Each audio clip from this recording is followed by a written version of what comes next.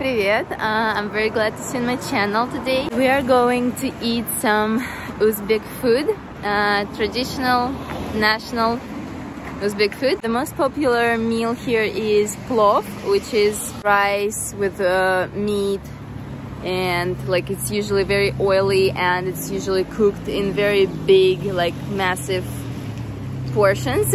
At the moment we came to the main place in Tashkent. Tashkent is the capital of Uzbekistan. We came to the main place where they cook the most amount of this plov in different variations. So uh, all the like locals come here, tourists come here, and I hope there is at least something left because they usually start to eat it at about 12 uh, p.m. 12 p.m. and at 2 p.m. there is like nothing almost already so it's about 1 um, p.m. at the moment and I hope there is a lot of food yet left. Agatha fell asleep in the car. We were getting a taxi here and I'm carrying her baby doll because like kids. Let's go to eat some plov. I hope to show you how they cook it but I'm not sure if I'll be able to but we'll see. We were able to come inside the kitchen where they cook all the plov it's located a little bit outside of the main building and has glass walls and open doors from two sides, so anyone can come inside to see the cooking process. There were so many people anyway. The biggest kazan was almost empty already when we came, but at least you can see how giant it is and how much oil is there at the bottom. Usually it's full when it's freshly made. They cook everything on real fire, so they have wood there near the entrance and there were a lot of smaller kazans in the kitchen as well and they were all at the different stage of cooking. Plov is usually cooked by layers, so at first they put a lot of oil there, a big pieces of meat,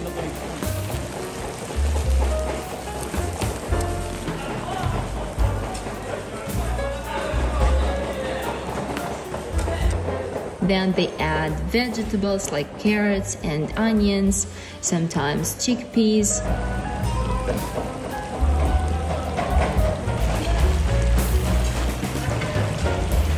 And then a huge layer of rice. They end up with several buckets like that.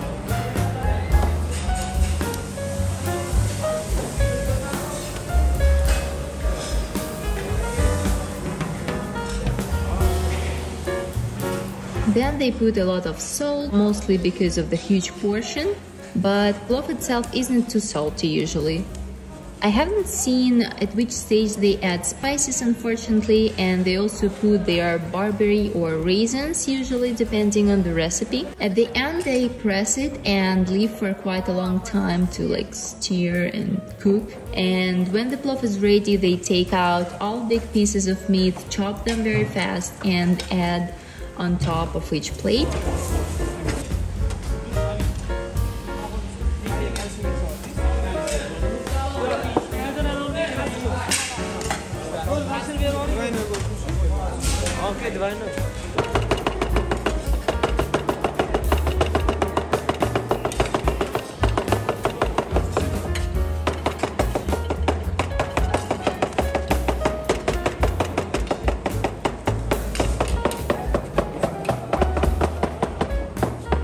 I don't know at which stage they mix plov, but I think uh, when it's already like cooked, so right before serving, but I'm not very sure about that.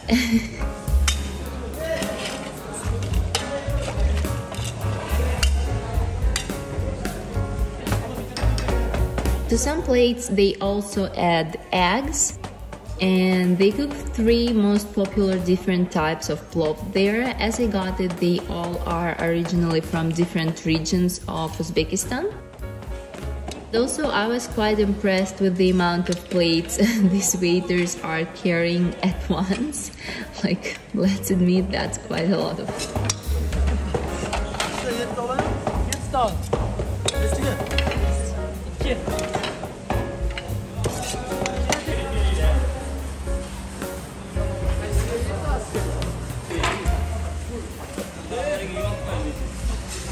Fresh pomegranate juice is quite popular in Uzbekistan too, so they also make it there right near the entrance. Probably it goes well with the plov.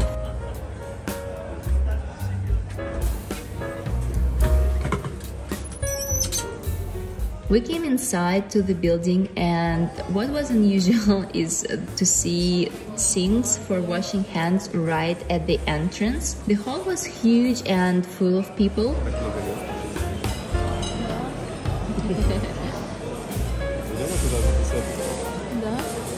Ну пойдем. The waiter took our order. We chose two different types of plov, tea and half of the naan bread.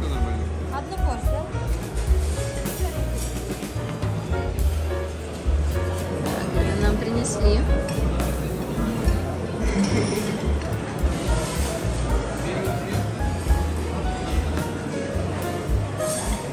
Originally they drink tea from little bowls and they eat everything with naan breads.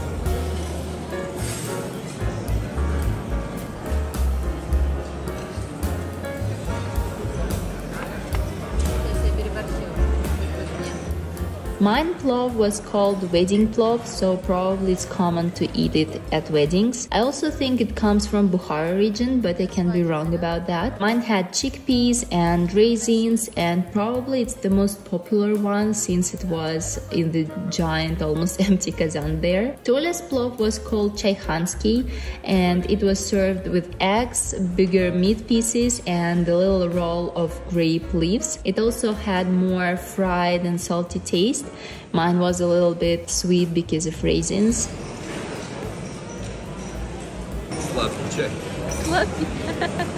they often put sugar in teapots there and we are not big fans of sweet tea, especially with oily food. So Tola was a little bit upset about the sweetness.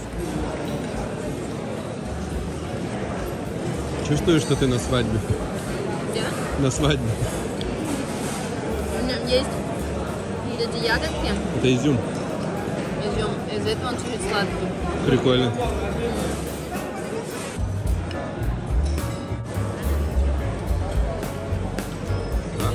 We got two receipts for tea and bread and we needed to bring them to the cashier to pay for them and for the plov.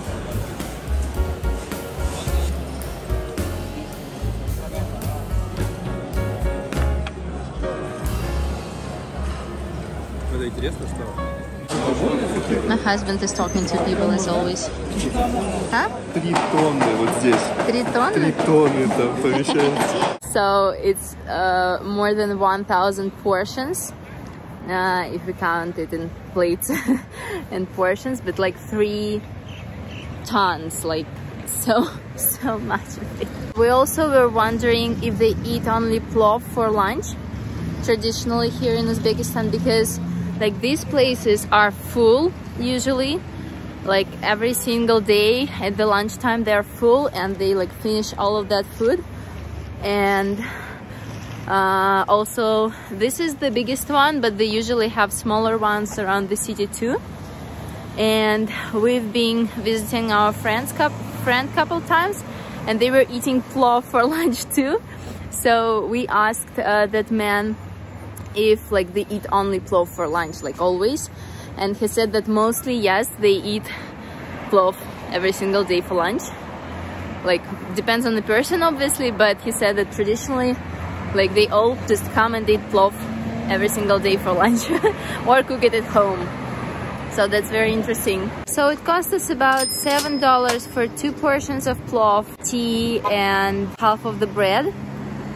So it was quite affordable and portions were big. Uh, my husband didn't finish it although he loved it but we usually eat a little bit less for portions.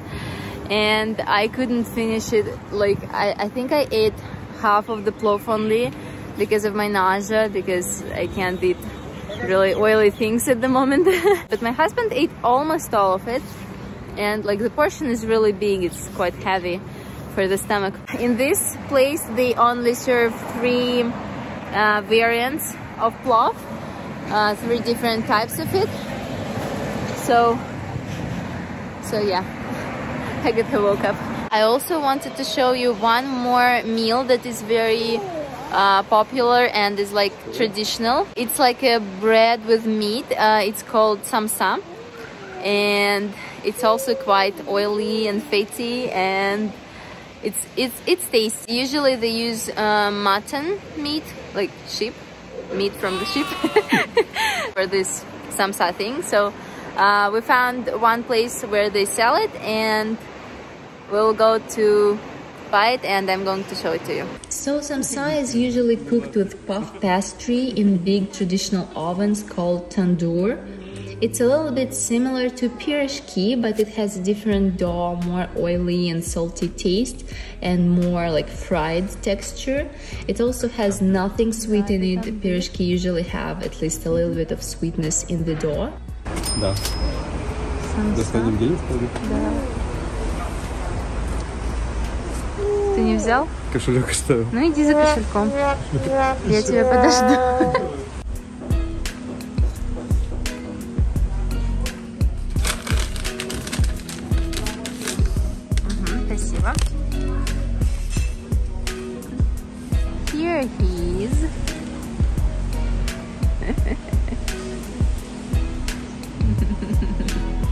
Идешь меня выкупать? Да. В заложниках. Да, да, да. Богатый, ням-ням. Сейчас будешь кушать, да. Ага. this is a small samsa. Uh, often it's uh, twice or three times bigger, but this is a small one.